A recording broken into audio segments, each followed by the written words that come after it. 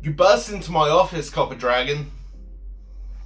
You made outlandish claims about the way the booking committee commits business.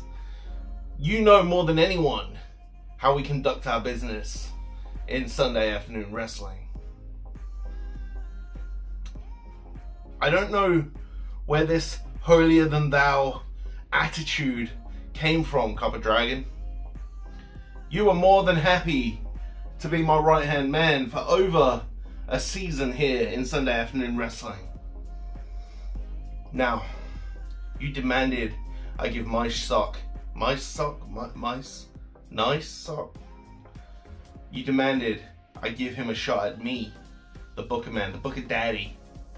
And I'm going to do that in the main event of show two tonight.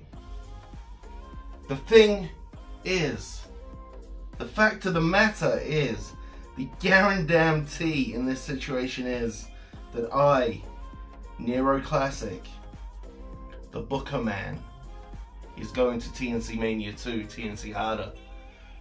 I'm going to main event, show 2, night 2, whatever you want to call it.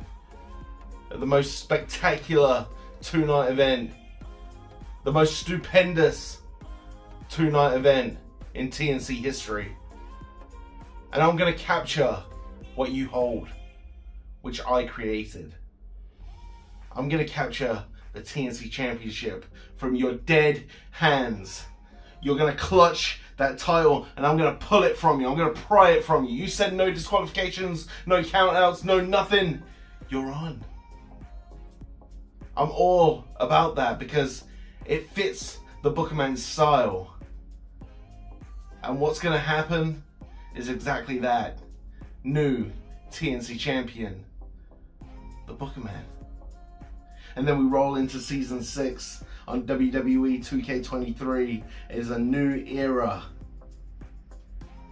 The booking committee, the TNC Ace, the Booker Man,